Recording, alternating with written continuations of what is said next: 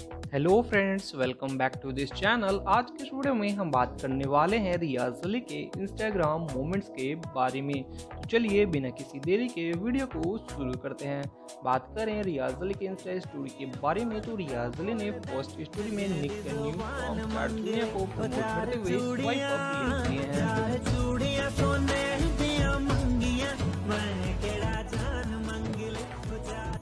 वहीं रियाज अली हैदराबाद से वापस मुंबई आ चुके हैं। वहीं आप देख सकते हैं रीजा आफरीन के साथ रियाज अली मस्ती करते हुए भी नज़र आ रहे हैं।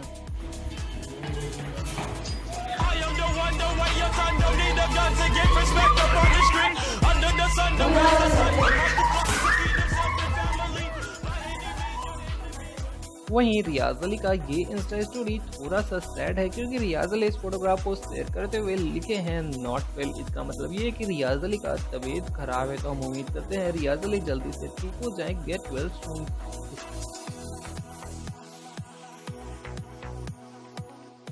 तो चलिए अब देख लेते हैं रियाज अली से जुड़े लेटेस्ट इंस्टाग्राम पोस्ट तो रियाज अली ने अपने सॉन्ग से जुड़े इस पोस्टर को शेयर करते हुए कैप्शन में लिखे हैं